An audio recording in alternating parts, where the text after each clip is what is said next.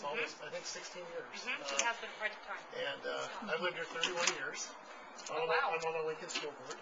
Okay, And, uh, uh, so, uh, hope you can take a people.